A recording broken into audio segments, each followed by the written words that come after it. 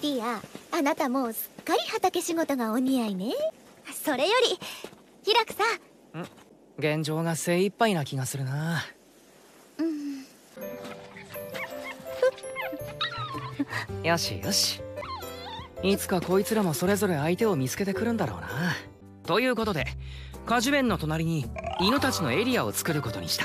ちなみに黒市たちの子供には名前をまだ付けられていない一方座布団の子供たちはん？なんだ？